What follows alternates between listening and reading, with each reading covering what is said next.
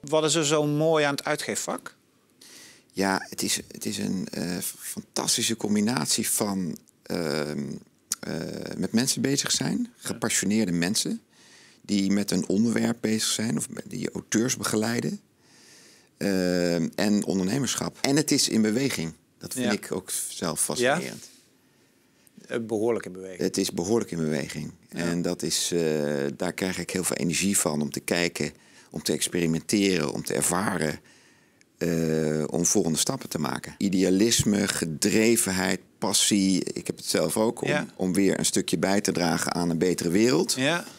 Uh, en dat wil ik zoveel mogelijk. Zat dat er alleen toen je met de boedelbak begon eigenlijk? Om toch even een stapje terug te nemen? Of? Nou, eerlijk gezegd uh, zat daar ook een stuk in van... ik wil laten zien wat ik kan. Ik heb ook een periode in mijn leven gehad dat ik uh, bij wijze van spreken alles kon.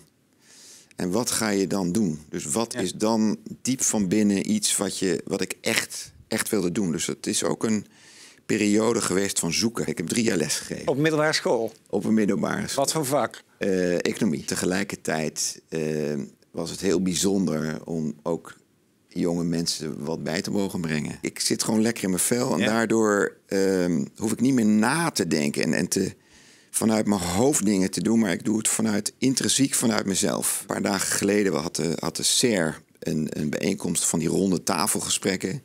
Dat ging over uh, hoe breng je meer uh, mensen met een multiculturele, multiculturele achtergrond, hoe breng je die meer in het bedrijf. Nou, ik vind het verschrikkelijk, dat soort ronde tafelgesprekken, want dan praat je over.